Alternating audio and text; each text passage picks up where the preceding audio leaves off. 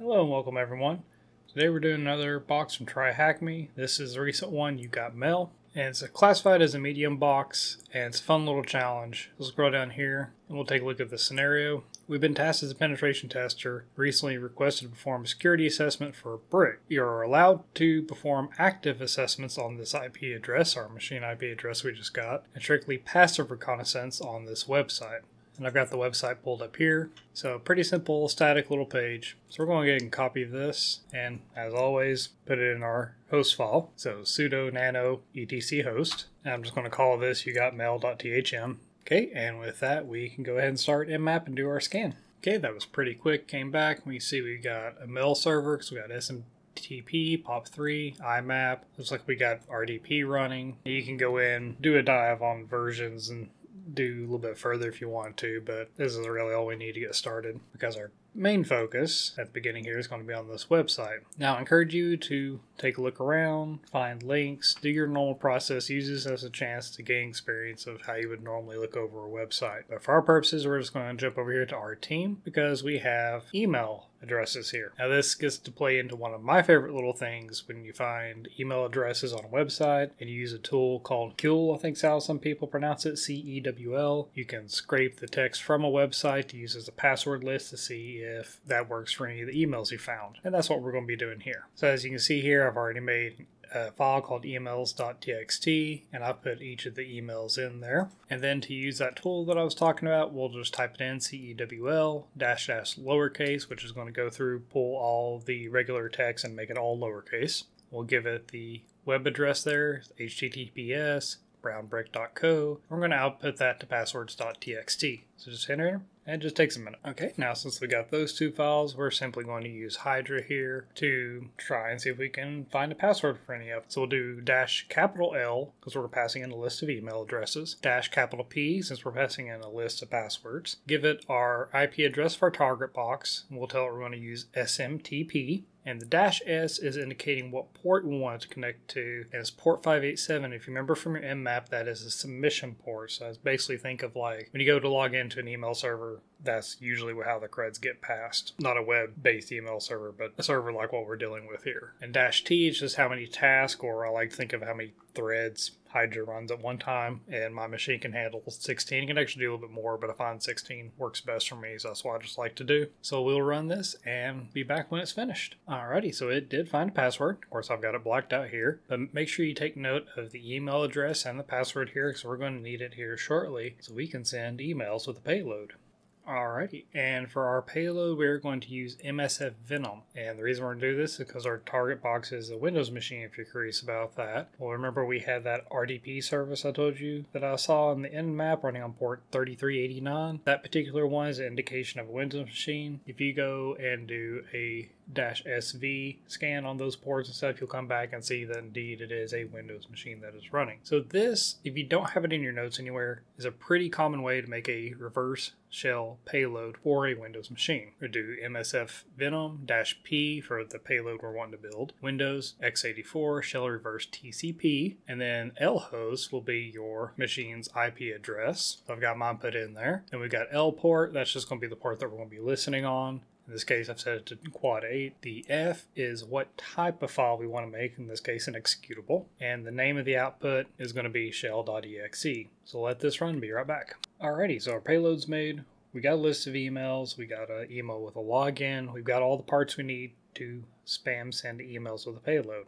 How do we do that? Well, I'm going to show you here with a script. It's a bash script. It's something you just type in the terminal. You can't make a script out of this. You can probably set it up to run with Python. But this is actually something recently I did on another box that you had to use kind of the same idea. So I just pulled out my notes and used the bash script I had from there. And this is what we're going to use. We're going to for email in dollar sign cat emails.txt in parentheses. Then make sure you put a semicolon. So basically, this is one line. If you were to make a bash script file, this would be one line, and that's what that semicolon is telling bash. And we're going to go to the next line. Do send email, not send mail, send emails. Two different things, so make sure you type the right one. Dash F, this is going to be who the email is from. And that's going to be the email address that we have the login for. Dash T, we're going to use the dollar sign email to pass the email we read from the text file here. Dash U is going to be who the email is from, so we're just putting test. Dash M is basically the subject of the email, so we're just putting test there as well. You can put whatever you want to in these two spots. Dash A is important because that's for attachment. That's how our shell.exe gets added and sent.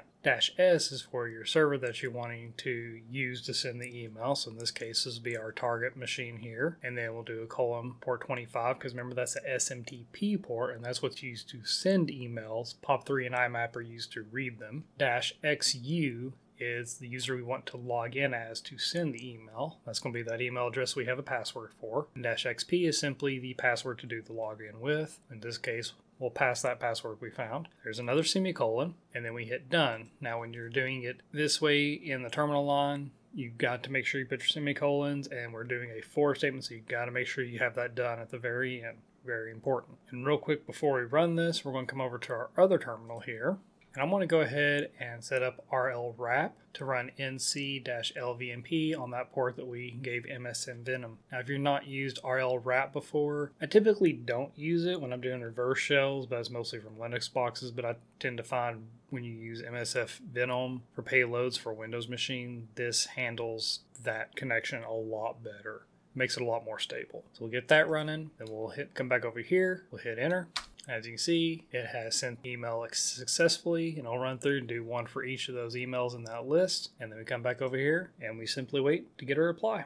Alrighty, so here we go. We've got our reply from the Windows machine. So as always, we'll do who am I, and we are user W-R-O-H-I-T. So we will navigate to the desktop. Let's use that with CD command. There we go. But user instead of users. So my bad. So now we're on the desktop. We use the directory command. See we have a flag.txt file. And if you're still new and getting files catted to the terminal Windows instead of cat, we use the word type. So we'll just do type flag.txt and we've got our flag there. Now since I got the flag off the screen there, we can move on to our next part, which is getting the password for the current user we are logged in as. Alrighty, so the next step, we're going to upload Mimikatz to the machine to get our hash that we need. Now, if you don't have this tool, you don't know what it is, not used before, I will leave a link to the GitHub down in the description below. Simply come to this page, and what you want is the x64 and you'll see this mimikatz.exe. You want to grab that and download it and that's going to be what we're going to upload. So here on my other terminal you can see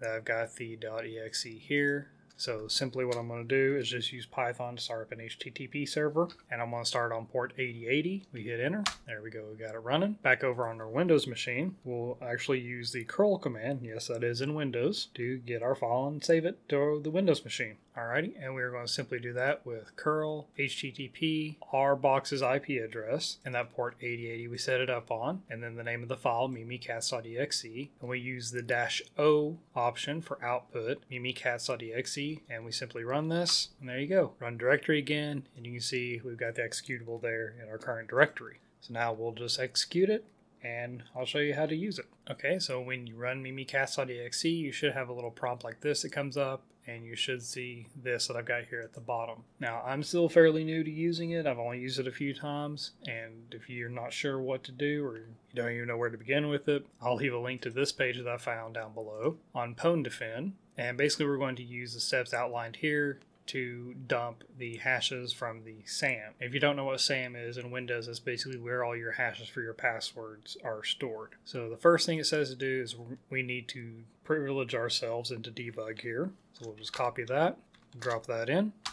We got an OK back, so we're good there. Next part is we need to elevate our token. So we'll copy that, drop it in. Right. As you see here, we are impersonated, so we look like that we are good to go. And now here it talks a little bit about the LSA dump module, which is what we're going to use. You can see it's got several options and everything.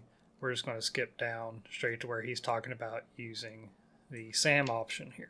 All right, close the browser so you can see a little bit better. So I've got the hash blurred out, but up here where it says the user that we are, that's our hash. And you can simply and you can simply use CrackStation here, drop that in to get the password. And then once you're done, you can just simply hit exit and we are back to our normal Windows interface. Now the last challenge is to get the administrator password. This one's a little bit trickier because you're going to have to take time to navigate and look around the machine to try to find something that stands out. So remember we've got a service running, right? So we need to find out where those files are stored, if there's any configuration information in there, and if we're able to read them or download them to our machine to read them. So first thing I always like to do is just go back to the root directory. So we'll do that with cd and then the dot dot slash three times. And there we go. We hit directory to see what we got. So we got a mail folder here. You got your program files. You got users and windows. Now you would think probably look in this mail, right? But if we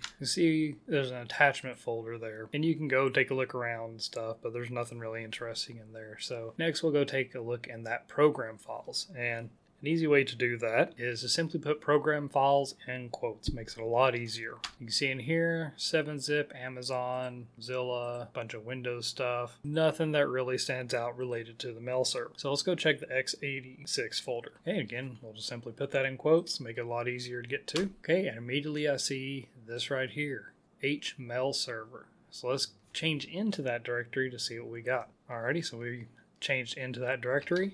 And we look, we've got add-ons bin, database. Feel free to look around here to familiarize yourself with the files, but we're just going to head straight on here.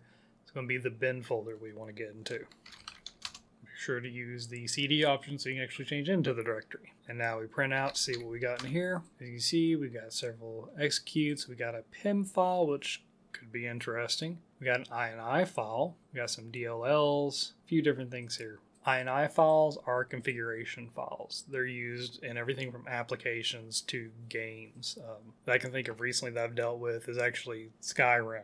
It actually has a INI file that you can set your window size to, even though there's no option to do it in the game. They have the option in the INI file. Whatever. So we are just going to use the type command to print out that INI file and see if there's anything interesting in it. So we got type hmailserver.ini and make sure you get all your capitals correct. And you see we got a decent amount of information out and I'll have the hash blurred out because underneath the security here we've got administrator password. So just take that hash, drop it into CrackStation and that'll be your last one. Well, I hope this walkthrough was helpful for you. Hope you learned a bit. Like I said, those uh, links will be down in the description below, so go check them out. I thought this box was pretty fun. I've gotten to where I've started to do some more Windows machines, and I was kind of glad this one popped up, and it was fun. I'll admit, uh, it's been it's been a while since I've had a box that was actually fun to do, and this one was for me. So let me know what you think down in the comments. Was it difficult for you? Did you find it easy as well? And I hope you have a good day. And I'll see you next time.